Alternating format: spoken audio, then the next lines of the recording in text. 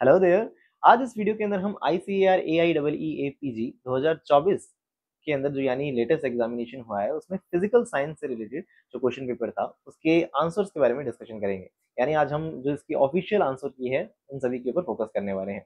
आपको मैं बताना चाहूँगा, इस वीडियो से जो पहले की वीडियोस हैं, उसके अंदर हम 2023 यानी लास्ट ईयर का जो एग्ज़ाम पेपर था, उसके बारे में भी हमने अच्छे से बात की थी।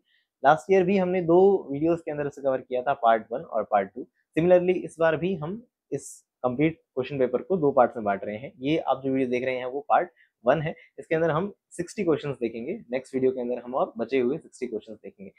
साथ ही मैं आपको बताना चाहूँगा, अगर आप सॉइल साइंस से या फ़िज़िकल साइंस से आईसीआर एग्जामिनेशन की प्रिपरेशन कर रहे हो तो मैं ऑलरेडी एक फंडामेंटल्स ऑफ़ सॉइल साइंस नाम की वीडियो सीरीज़ कंप्लीट यूट्यूब पर अपलोड कर चुका हूँ। इसके अंदर हमने 100 प्लस वीडियोस कवर किए हैं, जिसके अंदर सॉइल साइंस के वेरियस जो भी टॉपिक्स हैं soil physics soil chemistry soil biology से रिलेटेड काफ़ी सारे टॉपिक्स को हमने कवर किया है जिनसे रिलेटेड क्वेश्चन इस, इस बार एग्ज़ाम में भी आए थे पिछले साल भी एग्जामिनेशन में आए थे। तो इनसे रिलेटेड कुछ फीडबैक्स भी मुझे मिलते रहते हैं हमेशा कुछ कॉल्स के ज़रिए मैसेजेस के ज़रिए और कुछ कमेंट्स के ज़रिए। तो इन फीडबैक से बहुत ज़्यादा मोटिवेशन मिलता है और उसी मोटिवेशन के साथ मैं इस वीडियो को भी कवर कर रहा हूँ जिसके अंदर हम 2024 का यानी लेटेस्ट एग्जामिनेशन जो है उसको हम कवर कर रहे हैं। साथ ही कहना चाहूँगा thank you so much for these nice comments ये कमेंट्स मेरे लिए बहुत ज़्यादा मायने रखते हैं। तो इन्हीं कमेंट्स को ध्यान में रखते हुए मोटिवेट होते हुए आज मैं इस वीडियो को कवर कर रहा हूँ। और hello everyone welcome to channel agriculture studies मेरा नाम है दिवाकर खत्री और चलिए शुरू करते हैं।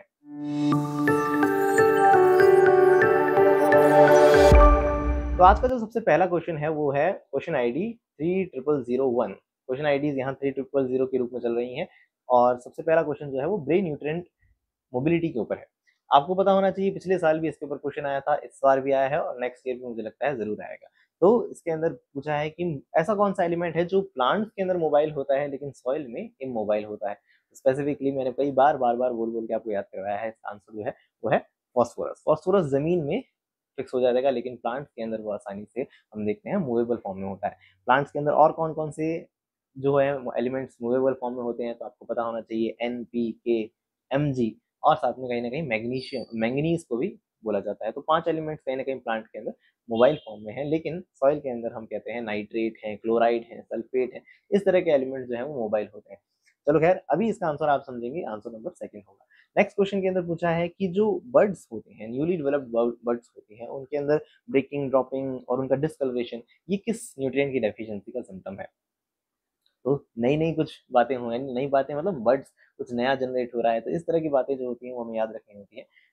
बोरॉन और कैल्शियम की डेफिशिएंसी से रिलेटेड होती हैं तो हम इसका आंसर समझेंगे। आंसर है फ़र्स्ट बोरॉन ओके आंसर्स में बाद में इसलिए दिखा रहा हूँ कि अगर अपना आंसर आप गैस करना चाहें तो पहले आप आंसर गैस कर लें, मुझे पॉज कर लें और सिर्फ़ जो आंसर हैं, उन्हें भी आप देख सकते हैं। एकदम फाइनल जो आंसर की है, उससे आंसर हमने मैच किए हैं तो ऑफिशियल आंसर की ही आंसर है। चलिए थर्ड क्वेश्चन देखते हैं। वो पीएफ रेंज पूछी है हमसे सॉफ्ट एंड फ्रेएबल कंसिस्टेंसी की। सॉफ्ट एंड फ्रीएबल कंसिस्टेंसी जो मोस्ट हम देख सकते हैं ऑप्टिमम कंडीशन होती है टेलेज के लिए। ये एक इंपॉर्टेंट क्वेश्चन है, याद रखिएगा। तो अब पूछा है कि इसकी पीएफ रेंज कितनी होती है? तो पीएफ रेंज क्या है? 2.8 से 4.5 याद रखिएगा।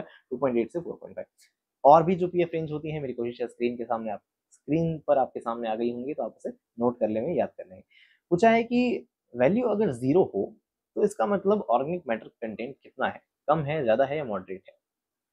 वैल्यू ज़ीरो वैल्यू मतलब hue value chroma soil colour के अंदर हम पढ़ के आते हैं ह्यू वैल्यू क्रोमा और वैल्यू का कॉन्सेप्ट ये कहता है कि वैल्यू जितनी कम है मतलब सॉइल उतनी डार्क है। वैल्यू मतलब जितनी ज़्यादा है सॉइल उतनी ब्राइट है। तो अब ये कह रहा है वैल्यू ज़ीरो है तो मतलब सॉइल जो है डार्क है। डार्क है तो मतलब उसमें ऑर्गेनिक कंटेंट ज़्यादा होगा। तो answer should be first one question number five के अंदर हमसे पूछा है कि मोस्ट कॉमन मिनरल जो है सॉइल के अंदर वो कौन सा होता है? मॉन्टफोरेलाइट केओलिनाइट वर्मिकुलाइट या हेलोइसाइट देखिए स्पेसिफिकली हम कहें रेड सॉइल के अंदर तो तो हमें याद रखना ही होता है ऑफकोर्स केओलिनाइट और हम स्पेसिफिकली याद रखते हैं केओलिनाइट को ऑक्सिक ओरिजिन या हम कह सकते हैं रेड सॉइल के अंदर। लेकिन यहाँ कोई सॉइल मेंशन नहीं करी है तो हम देख सकते हैं जनरलाइज्ड वे के अंदर हम कहें तो आंसर इसका क्या होना चाहिए? केओलिनाइट ही होना चाहिए। स्पेसिफिकली की मेंशन कर देता ब्लैक सॉइल तब हम कहीं वर्मिकुलाइट या मॉन्ट मोरेलोनाइट के बारे में सोचते लेकिन वैसा कुछ नहीं मेंशन किया है, सिर्फ़ पूछा है कि इन जनरलाइज वे हम देखें तो सबसे ज़्यादा कौन सा एलिमेंट देखा जाएगा तो हम आंसर सही मानेंगे केओवेनाइट नेक्स्ट क्वेश्चन पूछा है कि ओ ए होरिजन जो है वो किसे रिप्रेजेंट करता है? ओ ए और भी हम देख सकते हैं इसकी सब डिस्टिंक्शन होते हैं, क्या आपको पता है? अच्छा चलो इसके ऑप्शन पढ़ें तो सबसे पहला बता रहा है क्या ये हाईली डिकम्पोज को या इंटरमीडिएटली यानी मॉडरेट डिकम्पोज को, या लीस्ट डिकम्पोज को या बिना किसी डिकम्पोजिशन वाला ऑर्गेनिक मैटर किस तरह के ऑर्गेनिक मैटर को रिप्रेजेंट करता है ये सब पोजिशन है ना? तो आंसर आपको पता होना चाहिए, इसका आंसर होगा हाईली डिकम्पोज ऑर्गेनिक मैटर किस बिहाफ पे? इस तरह से मैंने आपको सब ऑर्डिनेट डिस्टिंक्शन भी यहाँ दिखा दिए हैं ताकि आपको अगर याद नहीं है तो अभी याद कर लीजिएगा।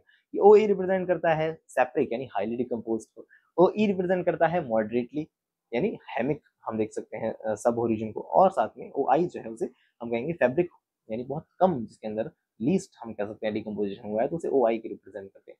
ए ई आई है ना? ए ई आई के रूप में से याद रखना होता है। तो उसका आंसर क्या होगा? Answer number one. याद रखना, ये नेक्स्ट ईयर भी आपके सामने आ सकता है। Legume can utilise atmospheric nitrogen हवा से लेग्यूम्स नाइट्रोजन ले सकते हैं। ये बातें किसने बताई दुनिया में? अगर आप इसका आंसर जानते हैं तो अच्छी बात है। नहीं जानते हैं तो याद रख लेंगे इसका आंसर है Boussingault right next answer देख सकते हैं जो कि है बॉसिंग बॉसिंग गॉल्ड को ही हम फादर ऑफ़ फ़ील्ड टेक्नोलॉजी कहते हैं। लिख लीजिए कॉपी में, अगर नहीं जानते हैं जानते हैं तो अच्छी बात है। इसे याद रखेंगे। Father of field plot technique हाँ? नेक्स्ट हम देखते हैं which of the following is are the example of nitrifying bacteria nitrifying bacteria में हम जानते हैं अच्छे से कि नाइट्रोसोमनास तो होगा नाइट्रोबैक्टर तो होगा नाइट्रोस्पायरा पे डाउट है। भाई लेकिन वन टू अगर होंगे तो फिर थ्री भी होना ही पड़ेगा क्योंकि फोर्थ ऑप्शन के अंदर तीनों दिए गए हैं राइट तो आंसर क्या होना चाहिए? देखो वन टू तो हमें लेना ही है तो कैसे लें? फोर्थ ऑप्शन में आएँगे तो आंसर क्या हो जाएगा? फोर्थ हो जाएगा। ठीक है? नेक्स्ट अगर हम देखें नाइन्थ क्वेश्चन के अंदर एजर्शन रीजन का क्वेश्चन है, पूछा है कि जिप्सम को हम काम में लेते हैं सोडिक सॉइल के रिक्लेमेशन के लिए। सही बात है भाई साहब सोडिक सॉइल के अंदर सोडियम ज़्यादा होता है सोडियम प्रॉब्लमेटिक होता है। तो रीजन में ये कहा गया है कि रिक्लेमेशन प्रोसेस जो है, जिसके अंदर आपने जिप्सम दिया है, वो कैल्शियम सोडियम को रिप्लेस कर देगा। कैल्शियम सोडियम को रिप्लेस करता है एन एक्सचेंजेबल आयंस के रूप में and its removal from the soil solution through the leaching leaching के थ्रू वहाँ से सोडियम हट जाता है, और सोडियम हटना ही तो क्या है? हमारे रिक्लेमेशन है, यानी एल्केलाइन सॉइल का हमारा सॉल्यूशन है। मतलब उसका हल है एक तरह से। तो कह सकते हैं कि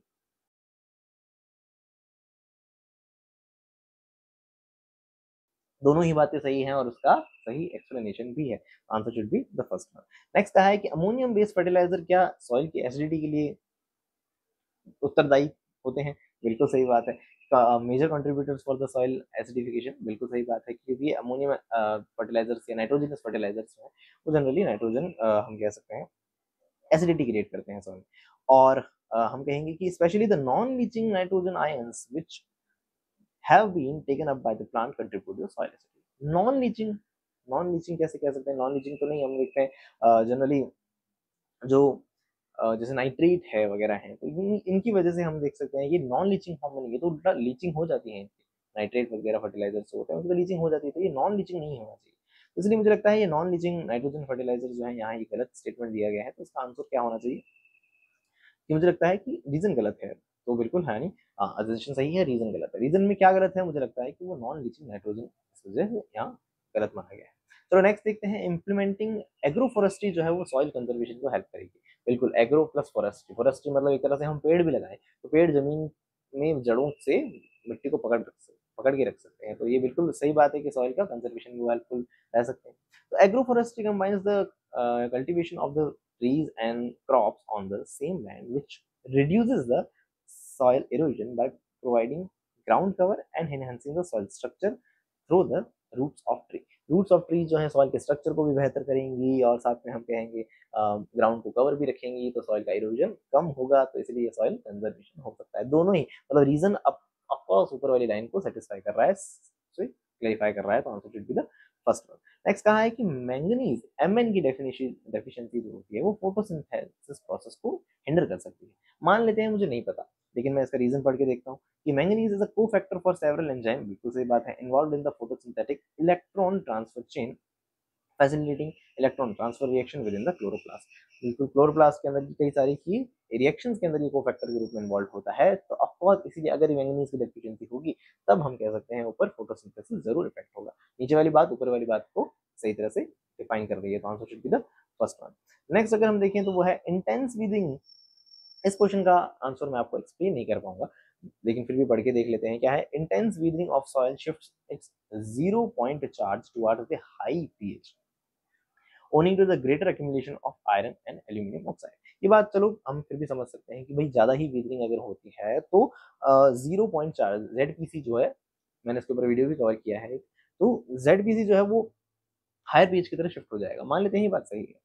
लेकिन नेक्स्ट जो हमें कहा है कि the application of organic matter in the soil also pushes the soil अच्छा यहाँ पे लिखा है कि टुवर्ड्स द हाई पीएच अगर ये बात सही है कि ज़ीरो पोटेंशियल जो हायर पीएच की तरफ़ शिफ्ट हो रहा है हायर पीएच की तरफ़ शिफ्ट हो रहा है तो फिर वो सॉइल तो एल्केलाइन कंडीशन की तरफ़ जानी चाहिए.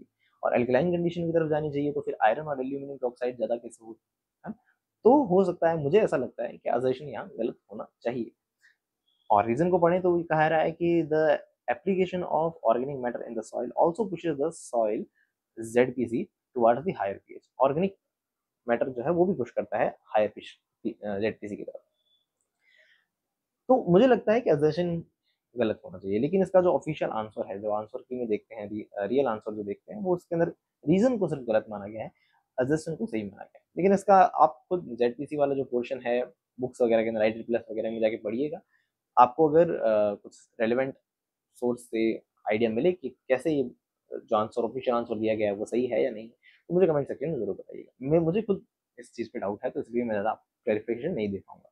Arrange the following decreasing order के अंदर हमें सिलिकॉन की बॉन्डिंग के हिसाब से करना है कि हमने अच्छे से इनको एक अलग वीडियो में सेपरेट अच्छे से समझा हुआ है कि सबसे पहले अगर ऑक्सीजन सिर्फ़ कोई भी ऑक्सीजन शेयरिंग में नहीं है तो उसे नेजो के नेजो सिलिकेट के रूप में समझो एक ऑक्सीजन शेयरिंग में चला गया तो उसे सौरो सिलिकेट कह दो।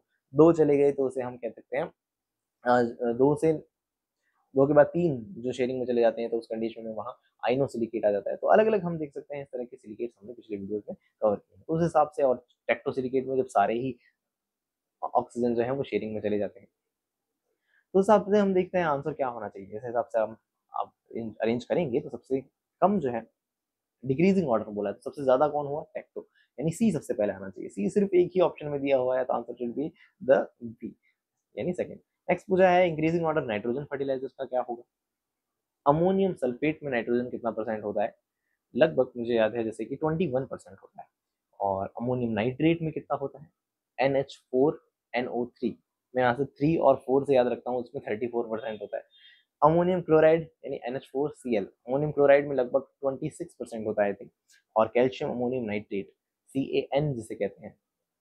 उसके अंदर सी एन के अंदर जो है वो आई थिंक नाइट्रोजन का अमाउंट थोड़ा कम रहता है। इसके अंदर ज़्यादा नहीं है सी एन का। स्पेसिफिकली तो याद नहीं आ रहा आई थिंक ट्वेंटी की रेंज नहीं होता। है लेकिन ये बात पक्की है कि अमोनियम नाइट्रेट में सबसे ज़्यादा होता है। तो अब ये कह रहा है कि इंक्रीजिंग ऑर्डर बताना है तो सबसे लास्ट में तो बी आना चाहिए। सबसे लास्ट में तो बी एक ही ऑप्शन में दिया हुआ है तो answer should be the fourth one right और मैंने यहाँ आपको यहाँ परसेंटेज भी रिप्रेजेंट किए हैं। ये मैं भूल रहा था ट्वेंटी फाइव से ट्वेंटी एट परसेंट यानी सी एन का भी याद रख सकते हैं ट्वेंटी फाइव से answer should be the fourth one nice आगे बढ़े तो वो है बेसल स्पेसिंग के बिहाफ पे हमें अरेंज करना है।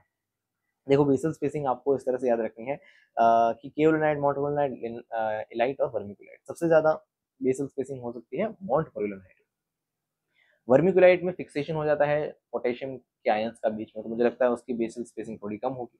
मॉन्ट की सबसे ज़्यादा होनी चाहिए। डिक्रीजिंग ऑर्डर पूछा है तो सबसे पहले तो आना चाहिए मॉन्ट उसके बाद आना चाहिए vermiculite right B D C A C मतलब इलाइट फिर केवलोनाइट केवलोनाइट में सबसे कम होना चाहिए। तो answer should be the fourth one right question number 17 के अंदर क्या है? Match the following match the following के आने वाले बहुत सारे क्वेश्चन हैं। देखो, आपने कभी अच्छे से याद किया हो कि जो मेटामॉर्फिक रॉक्स की एक टेबल है मैं आपके सामने स्क्रीन पर भी प्रेजेंट करूँगा। उस टेबल को अच्छे से याद कर लेना, उसी से ये क्वेश्चन फिर से उठा है कि कोल से ग्रेफाइट बनता है सैंडस्टोन से क्वार्टजाइट बनता है। मेरे को ये मान लेते हैं, दो अच्छे से याद है। तो सैंडस्टोन यानी फोर्थ में होना चाहिए डी का फोर होना चाहिए। डी का फोर दो ऑप्शन में है। सी का फ़र्स्ट होना चाहिए, मुझे अच्छे से याद है तो answer should be the second one यानी इसका आंसर होगा सेकंड ए का थर्ड यानी कॉन्ग्लोमरेट जो है उससे नीस बनेगा और बी यानी स्लेट से बनता है पाइलाइट ठीक है? स्लेट एकदम फ्लैट होता है ना? चलो क्या आगे देखते हैं हम। नेक्स्ट क्वेश्चन में देखते हैं, हम 18 नंबर क्वेश्चन में सॉइल ऑर्डर से हमें मैच द फॉलोइंग का क्वेश्चन पूछा गया है। सॉइल ऑर्डर के अंदर चार ऑर्डर हैं अल्टीसोल वर्टीसोल मॉलीसोल और एल्फीसोल ठीक है स्पेसिफिक कैरेक्टरिस्टिक्स हमें याद रखने होंगे। एल्फीसोल और अल्टीसोल में क्या फ़र्क है स्पेसिफिकली याद है आपको? अल्फीसोल में 35 परसेंट से ज़्यादा होता है बेस सेचुरेशन अल्टीसोल में 35 से कम होता है। ठीक है तो अल्टीसोल का होना चाहिए ऐसा पॉइंट जिसके अंदर 35 परसेंट से कम हो बेस सेचुरेशन तो देख सकते हैं वो हाँ तीसरी लाइन में दिया है कि बेस सेचुरेशन 35 परसेंट से कम। अब ए का तो थर्ड होना चाहिए। ए का थर्ड सेकेंड ऑप्शन में भी है और फोर्थ ऑप्शन में भी है। वर्टिसोल है जिसमें स्वेलिंग और श्रिंकेज की प्रॉपर्टी होती है तो आंसर ये होना चाहिए स्वेलिंग श्रिंकेज वाला, यानी बी का सेकेंड होना चाहिए। अब बी का सेकंड ए का थर्ड तो आंसर सेकंड में ही दिया हुआ है। Answer should be the second one बाकी को भी मैच कर सकते हैं, अच्छे से स्पेसिफिकली याद रख लेंगे, ये इंपॉर्टेंट नेक्स्ट हम देखते हैं वाटर लॉक कंडीशन ग्रीश कंडीशन ले आती है। बिल्कुल ग्लेइजेशन कहते हैं। बार बार मैं कहता हूँ, बहुत ज़ोर देता हूँ। पिछले साल भी इसके क्वेश्चन आए थे, इस साल भी आए हैं नेक्स्ट ईयर भी आएँगे। अच्छे से याद रखना ग्लेइजेशन वाला प्रोसेस ही बता रहा है। अब अपलैंड सॉइल जो है usually maintains a reddish and brownish hue due to its high weatherable nature upland soil में हाई विदरेबल नेचर होने के कारण वो रेडिश एंड ब्राउनिश कलर की हो जाएगी। ऐसा तो कुछ नहीं होता। तो आंसर मुझे लगता है, ये रीजन गलत है। तो answer should be the first one या मतलब सिर्फ़ सजेशन ही सही है। रीजन यहाँ सही नहीं लिखा नेक्स्ट है सबमर्जेंस यानी जब हम कहेंगे पानी भर जाएगा सॉइल के अंदर तो उसमें स्पेसिफिकली कौन सा इवेंट्स होंगे? तो स्पेसिफिकली पहले क्या डिप्लीशन होगा सॉइल ऑक्सीजन का, फिर टॉक्सिक एलिमेंट्स हाइड्रोजन सल्फाइड्स बनने लगेंगे। लॉस होगा बेनिफिशियल ऑर्गेनिजम्स का और साथ में हम देख रहे हैं increase the soil pH the soil acidic soil तो सबसे पहले तो देखो पानी भर रहा है तो ऑक्सीजन कम हो जानी चाहिए। तो मुझे लगता है सबसे पहले तो क्या होगा? डिप्लीशन ऑफ़ ऑक्सीजन यानी सबसे पहले तो ए होना चाहिए। तो ये तीसरा हो चौथा ऑप्शन राइट अब ऑक्सीजन कम होनी चाहिए, उसके बाद कहा है? एक्यूमुलेशन ऑफ़ टॉक्सिक सब्सटेंस सीधा ही हाइड्रोजन सल्फाइड बनने लगेगा या पहले पीएच गिरेगी। या लॉसेस हो गए बेनिफिशियल एलिमेंट्स के, या हम देख सकते हैं एक्यूमुलेशन ऑफ़ टॉक्सिक तो आंसर या तो बी होना मतलब ऑफ़ टॉक्सिक सब्सटेंसेस बनने चाहिए या बेनिफिशियल ऑर्गेनिज्म का लॉस होना चाहिए। मुझे लगता है पहले बेनिफिशियल ऑर्गेनिज्म का लॉस होना चाहिए। भाई ऑक्सीजन खत्म हो गई है तो फिर जो एरेबल मतलब जो जिनको ऑक्सीजन चाहिए थी, वो वो लोग क्या वो मर जाएँगे। तो आंसर क्या होना चाहिए? ए के बाद बी उसके बाद सी यानी लॉसेज ऑफ़ बेनिफिशियल ऑर्गेनिज्म और उसके बाद, यानी सी मतलब ए के बाद C and then B B के मतलब टॉक्सिक सब्सटेंस बनने लगेंगे और एट द एंड हम देख सकते हैं सॉइल की इस टॉक्सिक सब्सटेंसेस की वजह से एसिडिक होने लगेगी pH answer should be the first one okay nice next हम देखते हैं वो है arrange the following factors affecting the irrigation water quality. Irrigation water quality से रिलेटेड सीक्वेंस बताना है। अब इरिगेशन वाटर क्वालिटी से रिलेटेड सीक्वेंस ये मुझे आंसर क्लैरिटी नहीं है इसकी कि ये क्वेश्चन कहाँ से स्पेसिफिकली पूछा गया है? भी सेलिनिटी पीएच सेडिमेंट कंटेंट या केमिकल लेकिन आईसीआर के अकॉर्डिंग इसका आंसर क्या दिया गया है? ए अगर आपको इसका स्पेसिफिक सॉल्यूशन पता है कि कहाँ से आया है क्वेश्चन तो आप मुझे ज़रूर बताएँ। नेक्स्ट में हमें मैच द फॉलोइंग के रूप में पूछे हैं क्वेश्चन थर्मल इमेजिंग मैंने रिमोट सेंसिंग के ऊपर कंप्लीट एक वीडियो सीरीज़ कवर की थी। तो फॉर्चुनेटली उसमें से पहले पहला वीडियो आई थिंक जो था उसी में से एक क्वेश्चन आया है। एनडीबीआई हम जानते हैं कि क्रॉप्स की हेल्थ से रिलेटेड होता है। तो फिर आंसर सी का तो क्या होना चाहिए? आ, हम कहेंगे identification of crop types and crop health यानी सी का तो होना चाहिए सेकंड अब सी का सेकंड कहाँ दिया है भाई? थर्ड में दिया है तो आंसर थर्ड वन बाकी मैच कर लीजिएगा आपको आंसर समझ आ जाएगा। नेक्स्ट पूछा है कि हार्वेस्टिंग प्लांट सॉइल सैम्पलिंग ये सभी चीज़ें बहुत जनरलाइज क्वेश्चन है। तो सॉइल सैम्पलिंग है तो फिर सॉइल से रिलेटेड ही होगा। हार्वेस्टिंग है तो कुछ हार्वेस्टिंग इक्विपमेंट से रिलेटेड ही होगा। आंसर शुड बी बहुत जनरलाइज है। यानी मैंने ए का क्या होना चाहिए? थर्ड होना चाहिए। ए का थर्ड दो में दिया है। बी का हमें दिया है सॉइल सैम्पलिंग सॉइल सैम्पलिंग नहीं होना चाहिए तो answer should be the second one right next हमें आप मैच कर लीजिएगा आंसर आपको इजीली समझ आ जाएँगे। जेल डाल मेथड नाइट्रोजन से रिलेटेड होता है। ब्रेव पी वन देख दे रखा है हमें फॉस्फोरस से रिलेटेड होता है ये। और फ्लेम फोटोमेट्री स्पेसिफिकली याद रखते हैं हम पोटेशियम के लिए। तो पोटेशियम वाला मैच देख लेते हैं हमें डी का तो सेकंड होना चाहिए। ऑप्शन देखें अगर हम तो डी का तो सेकंड होना चाहिए। डी का सेकंड फॉर्चुनेटली सिर्फ़ एक में दिया हुआ है तो answer should be the fourth one बाकी आप प्लीज़ अपने आप मिलान करिएगा, याद करने की कोशिश करिएगा। मैं बस वक्त बचाना चाह रहा हूँ, इसलिए फटाफट आगे बढ़ रहा हूँ देखो, बहुत इजी सा जनरल आपको कभी आपने कभी एनवायरमेंटल साइंस नहीं पढ़ा, लेकिन फिर भी आप इसका आंसर कर सकते हैं कि पॉइंट सोर्स पॉल्यूशन किसी पॉइंट से जनरेट होगा, है ना? किसी पर्टिकुलर पॉइंट से कैसे originate from a specific identifiable source such as the factory और वगैरह से निकल रहा है तो उसे पॉइंट सोर्स कहा है। ऐसे ही कहीं से निकल रहा है तो रन ऑफ़ वगैरह के रूप में तो उसे नॉन पॉइंट कहेंगे। ग्राउंड वाटर खराब कर रहा है तो ग्राउंड वाटर से रिलेट हो जाएगा, देखो अंडरग्राउंड वाटर हाँ तो ये सारे ऑलरेडी मैच्ड अप ही हैं, वेब को बना रहे हैं तो ए बी सी डी सारे वन टू थ्री फोर ही हैं। Answer should be the first का फ़र्स्ट सेकंड का सेकंड सी का थर्ड और डी का फोर्थ ठीक है ना? मतलब ऑलरेडी मैच करके पूरा कहना मैच करो, वेब को बना रहा है। नेक्स्ट हम देखते हैं ट्वेंटी सिक्स नंबर क्वेश्चन की फोटोट्रॉपिज्म किससे रिलेटेड है? फ़ोटो मतलब लाइट लाइट की तरफ़ शिफ्ट हो जाना। तो भाई ए का तो क्या होना चाहिए? थर्ड ए का थर्ड इसमें दिया है। बी का देख लेते हैं। फ़ोटो पीरियोडिज्म फ़ोटो पीरियोडिज्म मतलब डे लाइट से रिलेटेड है। तो बी का हम कहेंगे रिस्पॉन्स टू डे लेंथ यानी डी का सेकेंड यानी होना चाहिए बी का सेकेंड तो डी का सेकेंड होना चाहिए। डी का कहाँ है भाई साहब? सेकेंड ये रहा। तो answer should be the first one I guess हाँ। तो इस तरह से। जल्दबाजी में कभी कभी गलत भी बोल सकता हूँ बट कोशिश कर रहा हूँ सही से सही बता सकूँ। Single super phosphate double super phosphate triple super phosphate ये सारे फास्फेट जो है, वो मोनोकैल्शियम फास्फेट के अंदर आते हैं। ये बात सही है। कभी आपने क्लासिफिकेशन पढ़ा है फॉस्फोरस का तो अभी दिखा देता हूँ आपको। वाटर सोल्यूबल के अंदर S S P D S P T S P तो आते ही हैं, साथ में एम ए पी भी आता है और डी ए पी भी आता है। बेसिक स्लैग्स डाइकेल्शियम फॉस्फेट अरियानिया फॉस्फेट और स्टीम बोन फॉस्फेट ये सारे सिट्रिक एसिड सोल्यूबल हैं।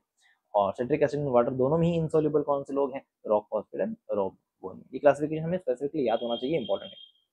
अब दूसरी लाइन कहती है कि mono calcium phosphate are water soluble and thus have high leaching losses ये बात तो सही है कि वाटर सोल्यूबल होता है, लेकिन इनकी लीचिंग लॉस नहीं होते।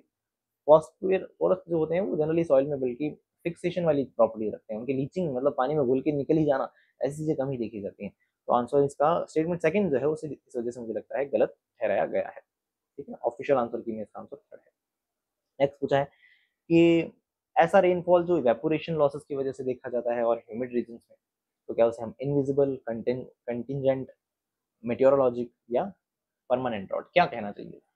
Permanent drought particular arid region वगैरह में देखा जाता है। मेटेरोलॉजिकल बारिश कम आई स्पेसिफिक रीजन में, तब कंटेंजेंट अनप्रिडिक्टेबल कंटिजेंट मतलब अनप्रिडिक्टेबल पता नहीं कभी भी आ सकता है ड्रॉप ऐसा ड्रॉट उसे कंटिजेंट बोल। लेकिन ये तो स्पेसिफाई कर रहा है आपको कि इवेपोरेशन की डिमांड जब पूरी ना हो पाए, तब उसे क्या बोलेंगे?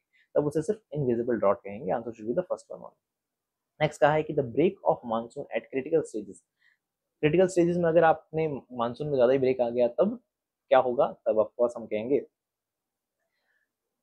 ईल्ड बहुत ज़्यादा कम हो जाएगी। और नेक्स्ट कहा है कि only when the break of monsoon exceeds पंद्रह डेज़ ड्यूरेशन मोर जब पंद्रह दिन से ज़्यादा हो जाए, तब और बुरी हालत हो जाएगी। बिल्कुल दोनों ही बातें सही है, एक दूसरे को सेटिस्फाई भी कर रही हैं तो answer should be nutrient supply organic farming में उससे रिलेटेड कुछ पॉइंट दिए गए हैं कि जो हम ऑर्गेनिक फ़ार्मिंग में देखते हैं, जो भी न्यूट्रिशन वगैरह हम क्रिएट करते हैं, वो ऑन फार्म ही होता है क्या? सारी चीज़ें ऑन फार्म प्रोड्यूस की जाती हैं। और साथ में पूछा है कि न्यूट्रिएंट फर्टिलिटी वगैरह जो है, वो क्रॉप रोटेशन ऑर्गेनिक मल्चिंग वगैरह से रिलेटेड होती हैं।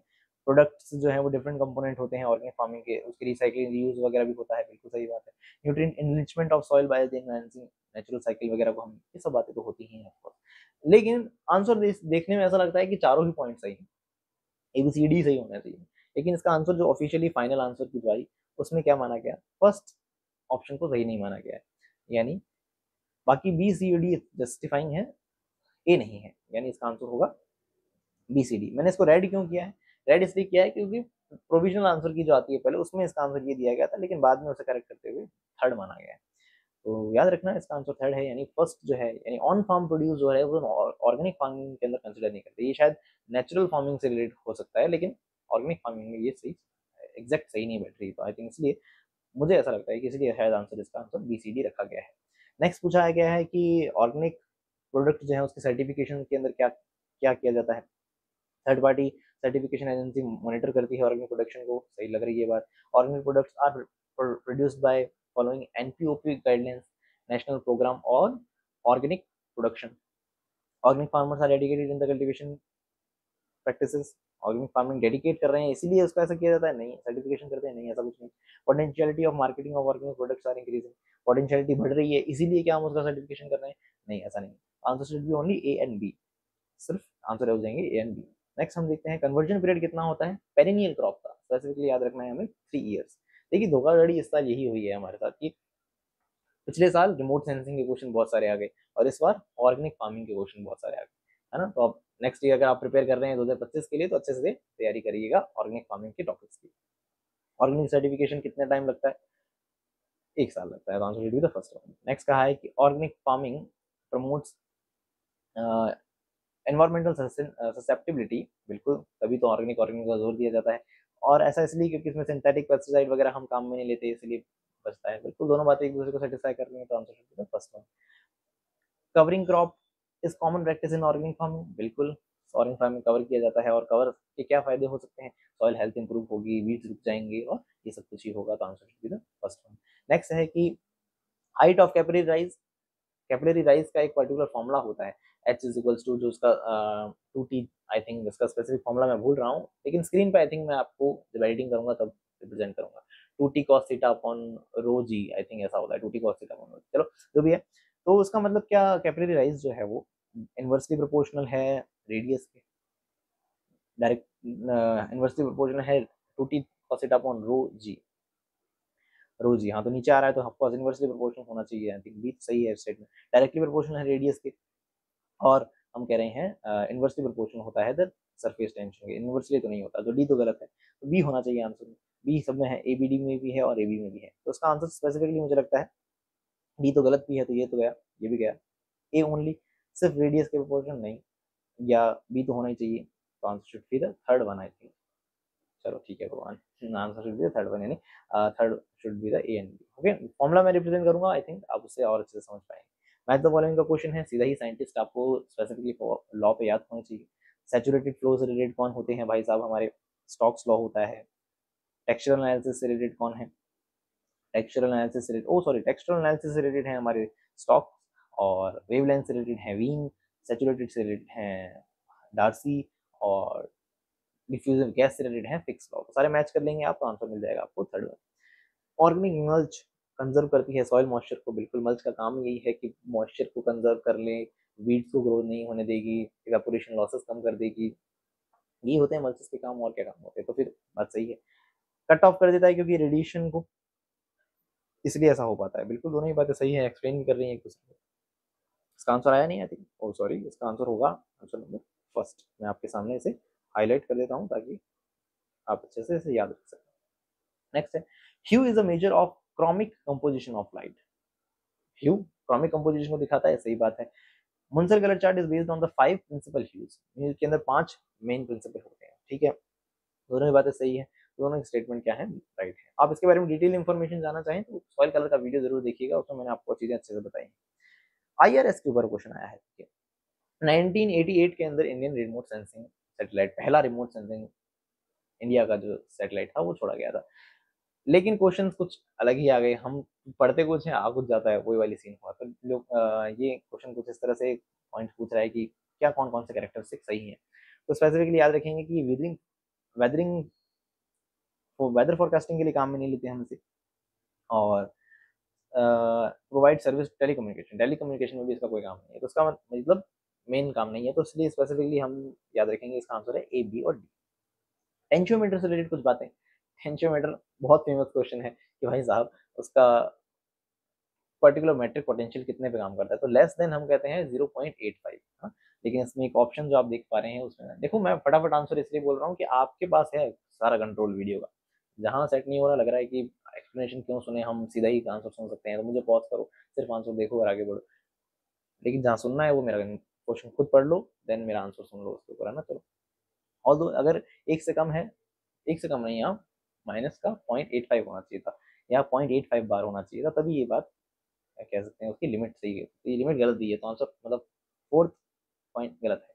ऊपर की पॉइंट सही है, मैं पहले पढ़ के आया हूँ तो answer should be the A B C only next पूछा है कि equilibrium water content in the soil at a certain matric potential is higher बिल्कुल। जो मैंने आपको हाई स्ट्रेसेस वाला वीडियो अच्छे से कवर किया है हाई स्ट्रेसेस मैंने आपको समझाया था अच्छे से कि वहाँ डिसॉप्शन कर्व के अंदर पानी ज़्यादा होता है सॉइल वाटर कंटेंट ज़्यादा होता है एज कंपेयर टू सॉप्शन के अंदर। तो उसका रीज़न भी थे, कई सारे रीज़न थे इंक बॉटल इफ़ेक्ट भी था कॉन्टेक्ट एंगल वाला भी था और एंट्रेप्ड एयर वाला भी था। अगर याद नहीं है तो प्लीज़ उस वीडियो को देखना, बहुत इंपॉर्टेंट बार बार चीख कहा था मैंने, बहुत इंपॉर्टेंट देखो, आ भी गया ऐसा क्वेश्चन तो उसका आंसर क्या? दोनों बिल्कुल सही बातें रीजन उसको सेटिस्फाई भी कर रहा है। आंसर द फ़र्स्ट यूनिट्स जब एग्ज़ाम आने वाला था, तब उस यूनिट्स के ऊपर एक सेपरेट वीडियो बनाया था, उसके अंदर मैंने ये यूनिट्स पार्टिकल डेंसिटी यूनिट बिल्कुल फॉर श्योर बताई थी किलोग्राम पर मीटर क्यूब होती है। तो डी का अगर फ़र्स्ट जिसको याद है वो आंसर थर्ड बोलेगा और answer third is the only right answer और सॉइल हाइड्रोलिक हेड जो है, ये एग्जैक्ट रिपीट हुआ है क्वेश्चन पिछले साल भी आया था। याद रखना है इसका आंसर क्या होगा। हाइड्रोलिक हेड जो है, वो सिर्फ़ हम देखते हैं मास के रूप में ही रिप्रेजेंट किया जाता है। तो answer should be the sorry per unit volume के रूप में ही रिप्रेजेंट किया जाता है। Per one sorry per unit weight के रूप में ही रिप्रेजेंट करते हैं। तो answer should be the C only I guess याद रखना ठीक एग्जैक्ट सेम क्वेश्चन है। पिछले साल भी आया था। अच्छे से याद रखना। पिछले आंसर की में मैंने बताया हुआ है। पिछले साल का वीडियो देखना आप। चलो नेक्स्ट हम देखते हैं। Darcy's law is valid for the steady and stationary flow बिल्कुल सही बात है। और ऐसा इसलिए क्योंकि स्टडी फ्लो के अंदर potential gradient at every point is follow the path and remain constant सही बातें हैं, तभी तो उसको काम में लेते हैं। इसके answer should be the first one decreasing wetness सबसे ज़्यादा वेट कौन होगा? ऑप्शन आपके सामने हैं। विस्कस सबसे ज़्यादा वेट है विस्कस तो आंसर होना चाहिए। सबसे पहले डी आना चाहिए। तो एक ही ऑप्शन में दिया हुआ आंसर विल फोर्थ अरेंज आप कर ही लेंगे अपने आप। नाइट्रस नाइट्रोजनस फर्टिलाइज़र डालने से N2O गैस निकलेगी। बिल्कुल वो एनवायरमेंट के अंदर ग्लोबल वार्मिंग क्रिएट करती है। क्या इसका पोटेंशियल मैथेन से भी ज़्यादा होता है? सेकंड स्टेटमेंट में ये कहा है कि इसका कंट्रीब्यूशन मैथेन से भी ज़्यादा है। तो वह गलत। सबसे ज़्यादा कंट्रीब्यूशन हम देखते हैं कार्बन डाइऑक्साइड का, फिर मैथेन का, फिर सीएफसी का, फिर बाद में जाके आता है नाइट्रस ऑक्साइड का। तो ये स्टेटमेंट सेकंड स्टेटमेंट गलत है।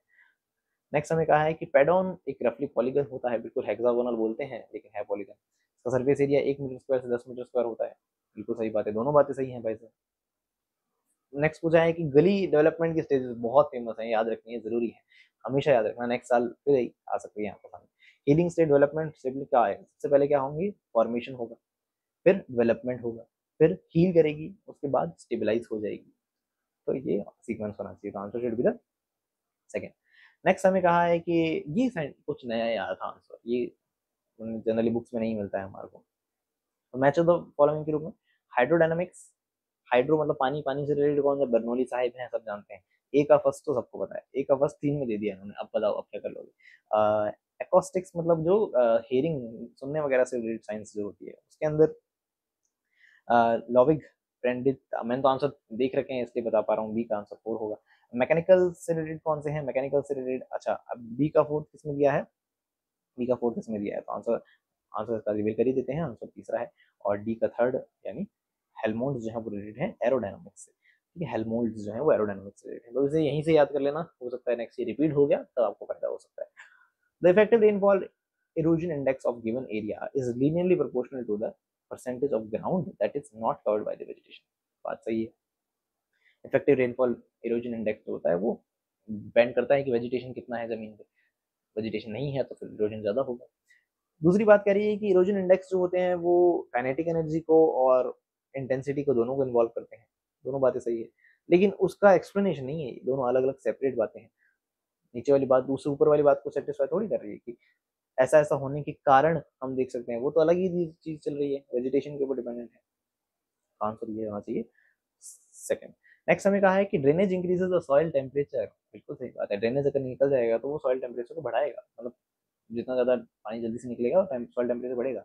क्योंकि drainage decreases the heat capacity drainage से हीट कैपेसिटी कम हो जाती है। पानी अगर होगा तो वो हीट को पकड़ के रख सकते हैं। होल्ड करके रख सकते हैं ना?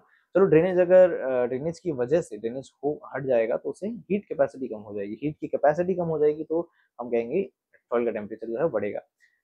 ये एग्जैक्ट क्वेश्चन पिछले साल भी आया है, दो हज़ार तेईस में सेम आया था, इस बार फिर सेम आया है। इसलिए अब हम कहते हैं कि हमें प्रीवियस ईयर क्वेश्चन पेपर अच्छे से कर लेने चाहिए। कर लेते हैं, तब जाके ही हमारे को आने वाले वक्त में फ़ायदा मिलता है। जैसे कि अगर किसी स्टूडेंट ने पिछले साल देख रखा था वीडियो तो उसे इस साल फॉर श्योर हेल्प रही होगी तो इस हिसाब से आंसर उसने सही किया होगा। Answer should be the first one और स्टडी स्टेट सॉइल इनफिल्ट्रेशन किससे रिलेटेड है? अब ये तो अंदाज़ा ही लगाने वाला क्वेश्चन है कि स्टडी स्टेट सॉइल के अंदर इनफिल्ट्रेशन एकदम स्टडी स्टेट में हो तो वो वाटर सप्लाई कंट्रोल से रिलेटेड हो सकता है। सेचुरेटेड हाइड्रोलिक कंडक्टिविटी कैसे निकालोगे? परमीमीटर काम में लेते हैं इसके लिए। परमीमीटर काम में लेते हैं और चारों में से आंसर परमीमीटर तो है वो साइंटिस्ट के नाम पे दे दिया तो गल्फ परमीमीटर याद रखना है।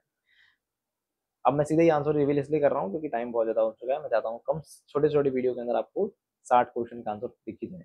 नेक्स्ट क्या है कि इलास्टिक कल्यूजन जो है काइनेटिक एनर्जी हाँ न्यूट्रॉन्स की बार बार टक्कर होती है, इस तरह का कंप्लीट मैं वीडियो आपको समझा चुका हूँ। न्यूट्रिएंट मॉइस्चर कंटेंट निकालने का जो कंप्लीट प्रोसेस होता है। सॉइल मॉडल मॉइस्चर डिटर्मिनेशन से रिलेटेड जो हमने मेथड्स पढ़े थे, वहाँ मैंने आपको ये न्यूट्रॉन वाला एकदम अच्छे से प्रोसेस डिटेल्स में समझा रखी है। तो उसे हमने वहाँ बार बार ज़ोर देके कहा था इंपॉर्टेंट है इंपॉर्टेंट है। Answer should be the thermalization next हमसे पूछा है पी एफ़ कर्व किसे रिप्रेजेंट करता है? पी एफ़ कर्व जो है वो अपोजिट से रिलेटेड है सॉइल मॉइस्चर से रिलेटेड है। तो ये डेंसिटी के साथ रिलेट नहीं कर सकते soil temperature nine nine nine base saturation soil pH nine nine nine matric potential और soil water yes yes answer B the fourth one next हम देख रहे हैं फाइन सैंड का हमसे साइज़ पूछा है। देखो, हर साल आता है क्वेश्चन पिछली बार कोरस सैंड पे आया था, इस बार फाइन सैंड पे आया नेक्स्ट ईयर भी आएगा तो अच्छे से याद कर लेना answer should be the second one और अगर आपको मैं कहूँ कोरस सैंड का कितना है? कोरस सैंड में यूएसडी के क्लासिफिकेशन से हम कह सकते हैं। सॉरी यूएसडीए नहीं U unite union of soil science classification international union of soil science से तो हम कहेंगे कोरस सैंड में है तो ज़ीरो पॉइंट टू से टू होगा फ़र्स्ट हो जाता आंसर नेक्स्ट हमें इरोजन के सीक्वेंस पूछे तो सबसे पहले तो भाई छपाक, यानी स्प्लैश होगा उसके बाद शीट इरोजन होगा उसके बाद हम कहेंगे रिल्स बनेंगी, गली बनेंगी देन बड़ी सारी रेवाइन बनेगी। तो answer should be the second one अरे बाप रे, जल्दी आंसर आपको दिखाई दिया। चलो कोई बात ओके नेक्स्ट है, यहाँ क्वेश्चन के अंदर चोट होती है। कुछ बच्चे सिंसियरली पढ़ते हैं, उन्हें पता होता है कि टेंशियोमीटर से रिलेटेड साइंटिस्ट कौन है? रिचर्ड है। रिचर्ड एंड गार्डनर है। टेंशियोमीटर की खोज किसने की थी? रिचर्ड एंड गार्डनर ने की। क्वेश्चन बनाने वाले का दिमाग देखिए, उसने पहले में गार्डनर दे दिया, दूसरे में रिचर्ड दे दिया। तो बच्चे का तो दिमाग घूम जाएगा, अरे यार रिचर्ड गार्डनर तो मैंने साथ में पढ़े थे अलग अलग ऑप्शन में आ गए। चलो, इन दोनों में से कोई एक लगाना भी है, मैं फ़र्स्ट लगा दूँगा या सेकंड लगा दूँगा। लेकिन घर आके जब आंसर देखता है, तब पता चलता है आंसर तो है लिविंग स्टॉम यानी आंसर जो दिया गया है, उसका वो है लिविंग स्टॉम तो क्यों? क्योंकि ये ओरिजिनल डिज़ाइन पूछ रहा है कि किसने डेवलप किया था। ओरिजिनल पहली बार प्रपोज किया था लिविंग स्टॉम ने। बाद में इन दोनों ने, या कह सकते हैं मेन वर्किंग वगैरह जो है वो इन दोनों ने मिलकर बताई थी रिचर्ड एंड गार्डनर ने। लेकिन इसका डिज़ाइन जो है वो इसने लिविंग स्टॉम ने बताया। आज का लास्ट क्वेश्चन आई होप ये वीडियो मैं कैसे भी कटवट करते हुए तीस मिनट तक ले आऊँ, ताकि आप आराम से हेल्पफुल रह सके आपके एग्ज़ाम के लिए। नेक्स्ट चलो देखते हैं। Acid sulphate soil can release harmful contribution to the heavy metal such as the aluminium iron manganese into the environment under the acidic condition बिल्कुल एसिडिक सॉइल्स हमारे लिए प्रॉब्लमेटिक हैं क्योंकि वो हैवी मेटल सॉइल्स वगैरह मतलब इसमें एल्यूमिनियम फेरस ज़्यादा होंगे, बहुत ज़्यादा एसिडिक होती हैं। क्योंकि हमें बता रखा है कि देर organic matter content Wawa which contribute their soil fertility ability to support support diverse plant life ऐसा कुछ नहीं है भाई। ऐसा होता तो इसे प्रॉब्लमेटिक सॉइल थोड़ी कह देते हैं। तो ये एसिड सल्फेट सॉइल का सेकंड स्टेटमेंट गलत है। और अगर एसिड सल्फेट सॉइल के बारे में डिटेल्स में इंफॉर्मेशन चाहिए हो तो जो वीडियो आपके सामने का थंबनेल आपके सामने आ रहा होगा स्क्रीन पर उस वीडियो को ज़रूर देखें, आपको चीज़ समझ आएगी। तो ये था आज का वीडियो आज वीडियो में हमने साठ क्वेश्चन किए हैं कवर नेक्स्ट वीडियो के अंदर भी सिक्सटी क्वेश्चन को कवर करेंगे और thanks for watching this video I really hope this video will be helpful for your next year examination तो मिलते हैं नेक्स्ट वीडियो के अंदर, तब तक के लिए बाय टेक केयर